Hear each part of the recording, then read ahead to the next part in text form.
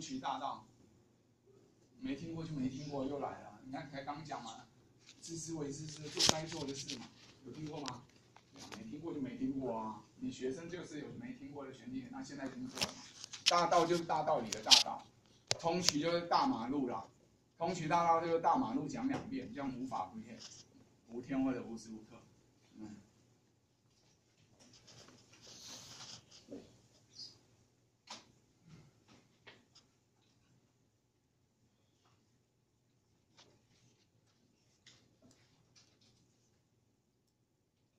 因为你们课本哎，今年好像删掉了，在金鱼有人说有这篇吗？有用到这个字，这也是相对位置有相关之意，通对大，对不对？大马路是比较容易畅通，当然塞车时段另外啊，对不对？道就是渠嘛，不知道渠是什么，相对位置有相关之意。到这里当然不是道理，是大路，像凯撒格兰什么大道，那时候不是大道理，对不对？市民大道是大道。台中台湾大道，对不对？那时候是真的 road 马路的道路。这渠你看跟行走有关吗？这个字念渠啦，这里也念渠啊，就用这个字帮助你记忆。还这个字还有另外一个字，到时候会讲。啊，和那个比较深深难字。这里念渠，清渠净渠，继续。来，我们停了一会，你就听我在这刮噪了。就是清渠净渠，你要抓哪个关键字？就四个字，你觉得哪个字最关键？读到现在，我们也唠叨那么多次了，跟《兰亭集序》比，哎，境造不同，有没有出现关键字？他向往的是静还是照？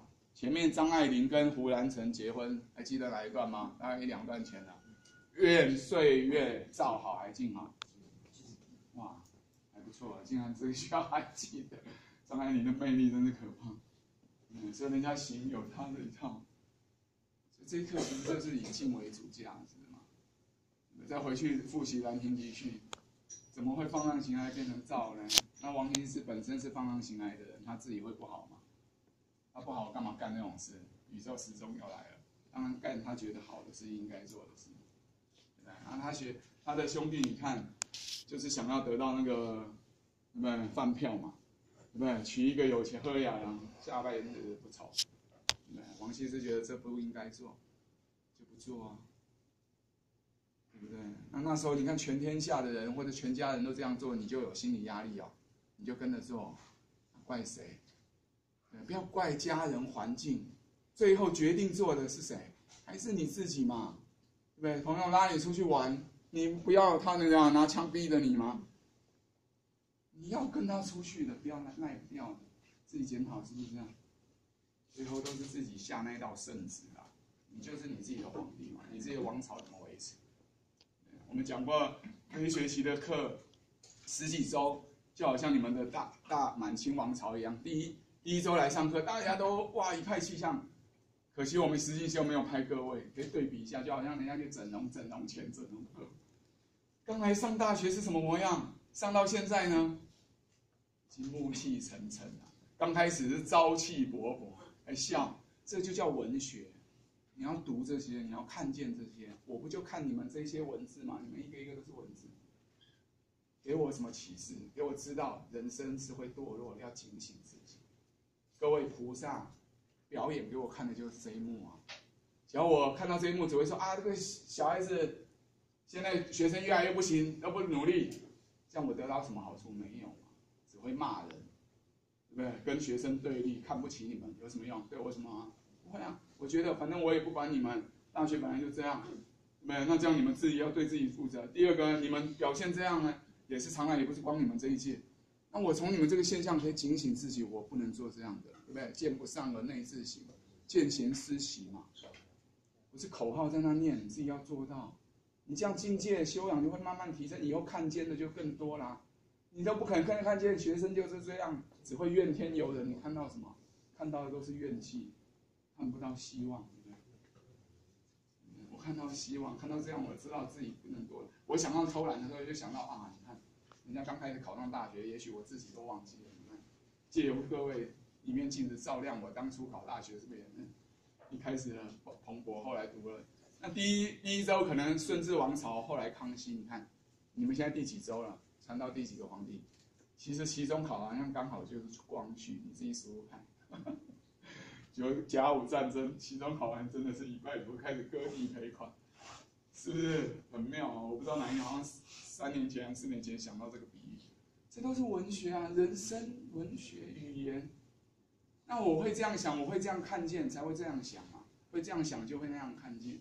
你看不到啊？你觉得满清十三王朝跟我什么关系？它是以前的故事。刚刚不就在朗读那一段的吗？刚刚同学他说希望在上海看到古人，可能吗？都死光了，你看到什么？就好像刚刚我那故事，然后我看到眼睛，眼睛在哪里？你跟我讲，眼睛在哪里？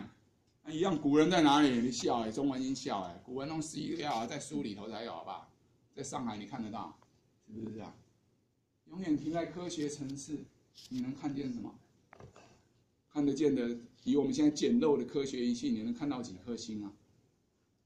光这个，光天空的星星你都看不到，其他的你看得到什么？你看我从小没有老师跟我讲这些，我自己想到这个，当然要跟大家 share。那我为什么想得到？我也希望你自己要去找。哪一天我想听听你的看见，不是都听我的啊？是不是？那大家这样比较才知道谁看得多嘛？互相比例就会一直一直进步啊。那老师我看得多。其实可以休息一下，清徐静气啊。好，先这样还好，后面也是重点。刚我已经讲到重点了，对不对？你要怎么看见？看见还是前面那一段，对不对？他这里是不是就看见了？希望在古人上海看到古人，怎么样才能看到？一定要往灵魂更深远去嘛。不去，不往灵魂更深远去掏，你掏得到上海有古人吗？不行。科学外在空间里头，古人都死光了。对？就好像现在呢做好人还亏亏本，可是真的都没有好人吗？当然有，卧虎藏龙，你谁知道？就像我，你是各位是我的学学生，我才会跟各位讲真心话。我出去会跟人家讲这些吗？讲话凶你？嗯，是我有这个责任不讲，对不起各位才讲，因为我爱讲。我连我的弟弟姐姐都不会讲，我最多以前我妈还在世，我还会跟我妈讲，我爸我也不会讲。嗯。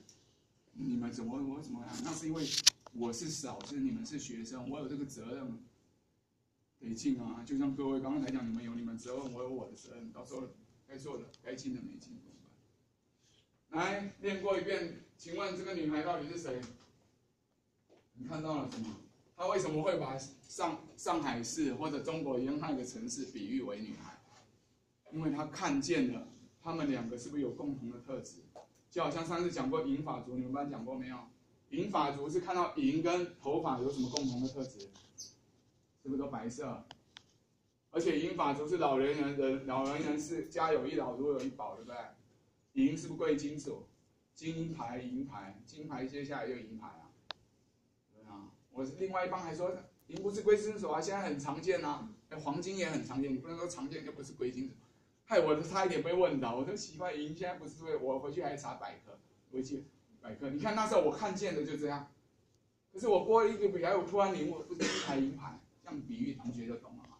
还还有什么好争的？你看那上个礼拜我就没想到金牌银牌，这也是单字讲副词啊，所以本次都教你了，我有时候也会想不到，你比我想得到，你这方面你就超前我了，你怎么会永远跑到老师后面呢？我就不知道以前那些老师到底是藏私，不想把他们懂的秘诀教给各位，还是他们不会教。所以我为什么来教书了？我今天站在这个位置呢，尽这个职责，我就是一定要把怎么弄懂的知其所以所以然给各位嘛，这才是学习情况，不是答案嘛。